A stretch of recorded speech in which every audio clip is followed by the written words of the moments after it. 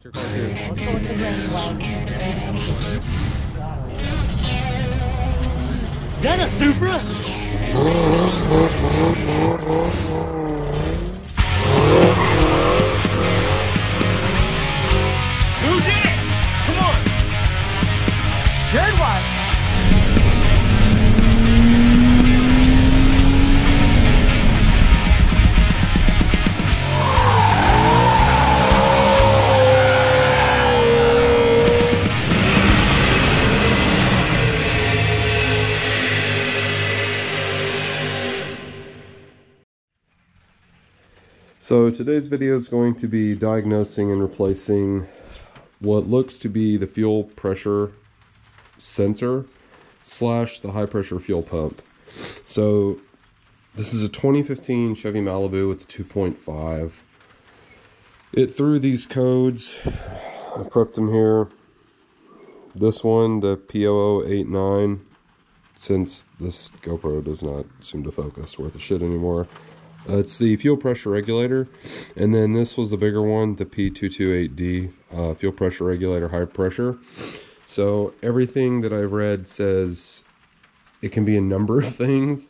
It's either the pressure sensor that's on the fuel rail, it's the high pressure fuel pump, or it could just be the battery.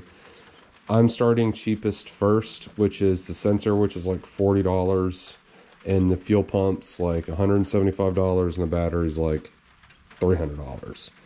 So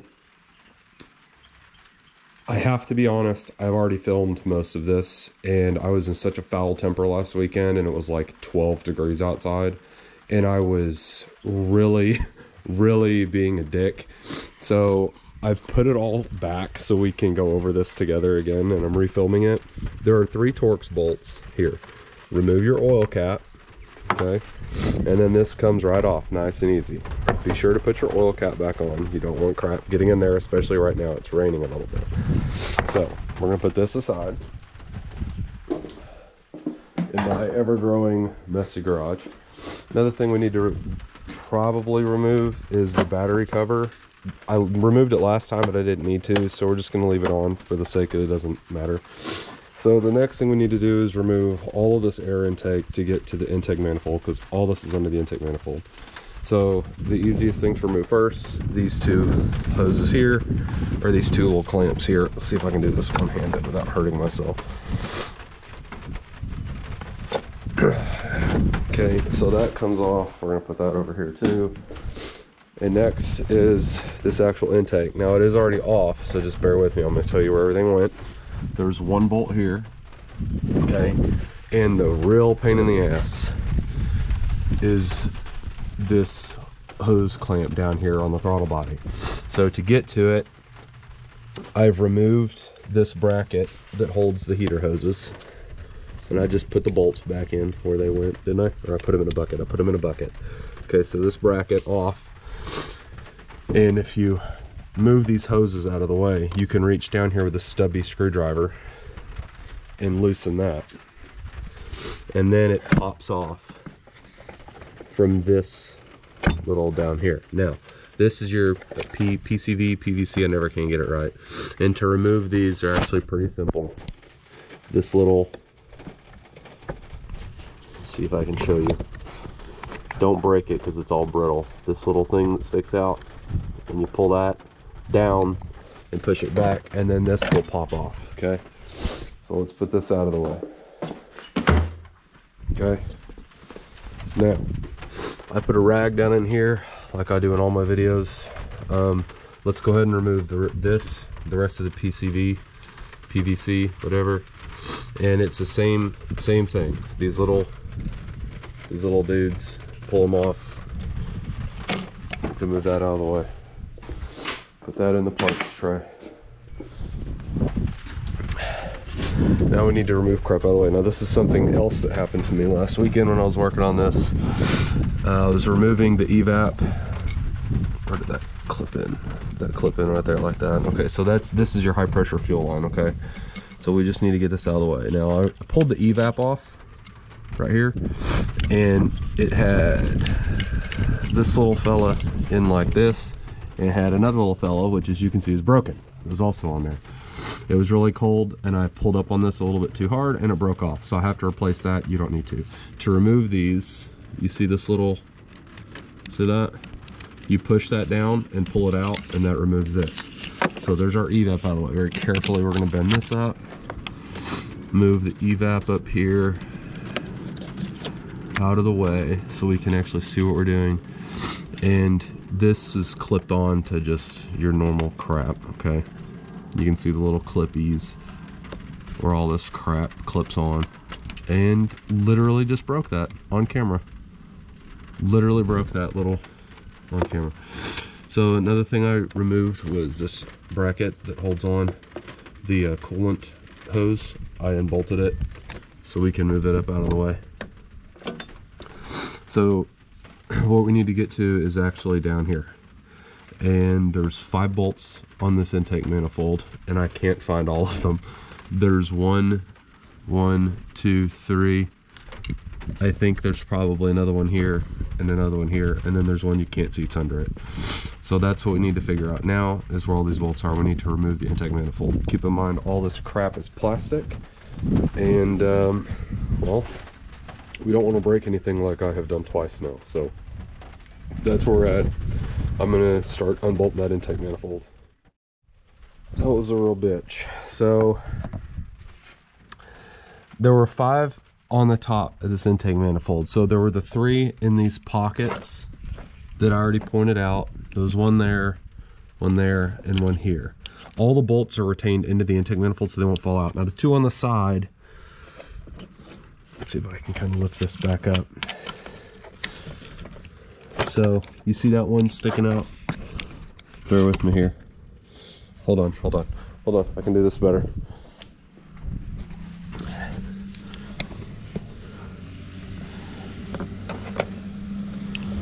There. Can you see this bolt right here? Very barely. This shitty video I'm trying to film. It's off on the side. Like there, you can kind of see it there. I'm trying to one hand this here. There, see it? It's right there. You can get to them from the side, right here. And the same, you can see this one a bit better. This one here is pretty easy. So once you get those off, the real problem was the one on the bottom. Now you can't even see it because it's not on like the bottom of the top runners. It's actually on the bottom. This intake manifold's humongous. So I can't, I never could see it. So it's in the middle of the intake manifold and you have to feel for it. It's a blind hole. So I found pictures online. So this is the top of the intake manifold. You see this bracket, this nubbin sticking up? This is it, okay? You see how it's at the bottom? So you're gonna have to reach your hand underneath the back of it and feel around for that. And I used a deep 10 millimeter socket and a two inch extension to get on it. And then I put another two inch extension on it with the ratchet to get it loose. All the bolts are retained on the intake manifold so you don't have to worry about them falling off. So once you get that off, all this wiring harness clips onto the top. So there were two right here, this one and this one for this wiring loom. And there's one of the clips and there was the other. I pulled them off and then this sensor that's right here, that's where this was and I unplugged it. So to get those off, I'm gonna show you how to get those off real quick with one of the coil packs. So use the same the same type of clip. So you see this little red safety clip? You push this red up like this, okay? And then, my hands are so cold, I don't know if I can do it. Then you can push down on this black part and then you see it slides off. That's how the, it's removed. So I removed it to get all the wiring harness up out of the way. Now the intake manifold is going to be stuck to the engine, so I just used a really big screwdriver and very gently uh, put a pressure on it until it popped off. Now the intake manifold gasket might slip out, so you want to be careful and watch that. Okay. I pushed mine back in and I did use my compressor and try to blow the shit off. This car is very poorly designed and it trapped a lot of just debris along the top of the engine where the intake manifold goes onto the head and in these holes. It was very difficult to even get a socket to go in and get on the bolt because of the crap. So here's what we're after. That sensor right there. This is what we're after. This is the high pressure sensor that's on the fuel rail. And this is it right here. Looks like we're gonna have to use yeah, get that rubber off of there so we can see what we're looking at. Yeah, let me get my flashlight so we can get a better look at it. It's gonna be an absolute pain in the ass to get off, I'm afraid. I don't have my sensor in yet. Yeah, see, there we go. There, this is what we're after, is this sensor right, right here. And that's the fuel rail. You can see how dirty all this on the back of the head. But this is what we're after. Be careful not to break anything on this fucking intake manifold because there are wires on it. So we're gonna go ahead and I'm gonna get a crescent wrench to uh, take this off and unplug it. I hope that plugs come off easy and swap that. Um, this is the high pressure fuel pump right here that I hope we don't have to get to. I'm really scared that it might be that. I think that's the high pressure fuel pump. Yeah, because that's the high pressure feed line that goes across the top. So that's got to be the high pressure fuel pump. I hope we can get to it if we need to without without uh, taking all this shit off again if we have to get to it. And there's the other end of that that evap hose that I broke that I'm gonna have to replace. Uh, looks like I can get to that easy enough, thank God. So I think I think if this sensor doesn't fix it, I can do the high pressure fuel pump without taking the intake manifold off. But we're gonna see. So that's it for now. I need to wait to get that part and then we'll install. As I turned off the camera, UPS or USPS shows up. So this is the bad one I just got out. It might just be dirty. I don't know who gives a shit. All this work is for this. This is what we're replacing. So I showed you where it's at. I want to show you how to remove the clip because I had to kind of guess. Clever little plastic thing. Where is it? There it is. Okay. I used a crescent wrench to get it to turn. So I'm going to show you what I did here with the clip. So this is the way you're going to find it. So you pull this little white tab down. See how it comes out? And then you push down on it. And that's what releases the clip. And it comes off. I don't see any type of thread sealer.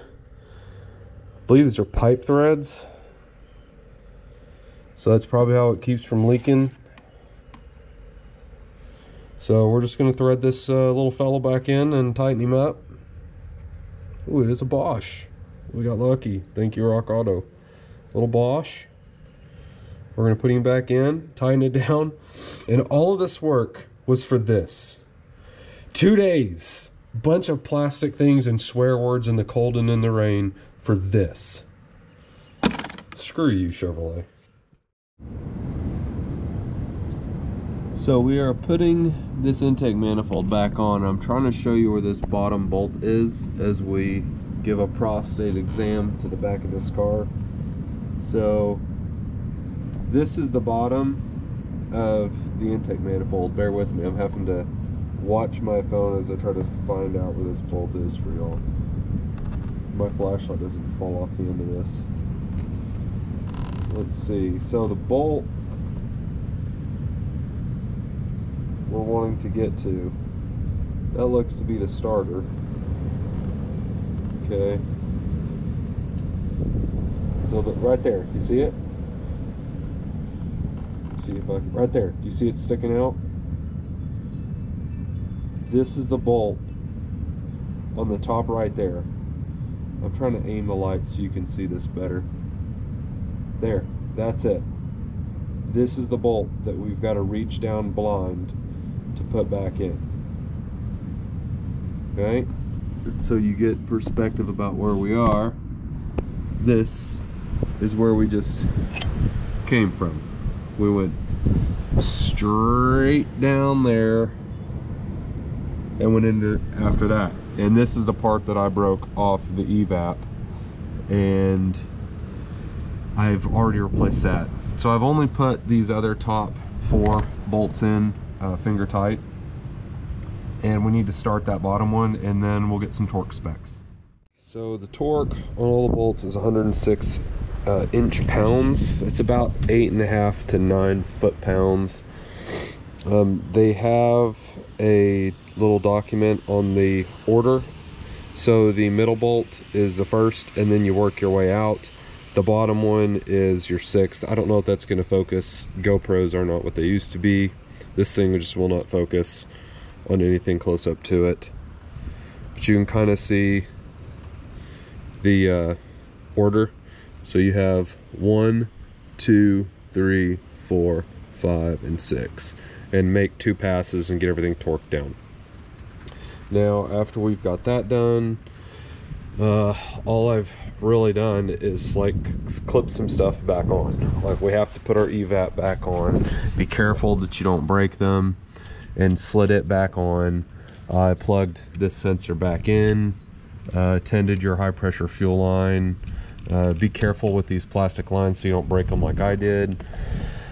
Um, the next thing we have to do is put the actual intake back on. That's going to be a pain in the ass because I had to take all this crap off over here to even get a screwdriver on it. But that's where we're at now. That's what I'm going to work on is getting the actual intake back on the top of this and we've got to put our hose back on for the PCV valve. When I put this back on, I did the PCV line first because it's that hard plastic and it's not very pliable. Make sure you get it clipped back onto all three. And there's that post that sticks up and this pushes down on it. This bolt goes in, doesn't need to be torqued. It's just holding this on. And now that I've finagled all of this crap out of the way to tighten this hose clamp down here, we need to bolt this wire tender back on and this heater hose tender back on. And I think I think after that the only thing we really have to do is put that intake hose on. And of course the engine cover but I'm probably not going to put that on until I start the car. Or I'll just put it on and cross my fingers just three bolts. So uh, let me bolt these back on and then put that on. There we go. Goes back together pretty easy. The intake manifold's the worst part.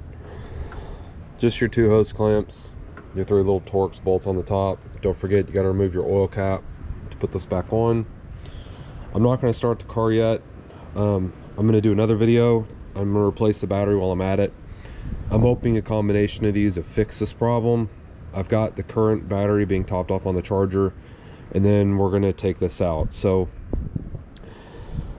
if I don't record a video about changing the high pressure fuel pump, we're going to assume that changing that sensor and or putting a new battery in it has fixed this P228D fuel pressure code that we were getting. Um, if we do have a video on how to replace the high pressure fuel pump. Obviously, these things did not fix the car. okay, so I hope that helped. I hope you can see the pain in the ass that this thing is and why engineers shouldn't build cars. Mechanics should tell engineers how to build cars because you have to take off the entire back of the freaking car to change one sensor that apparently does tend to go out. So, thanks for watching, everybody. Come on! Come on! Yeah!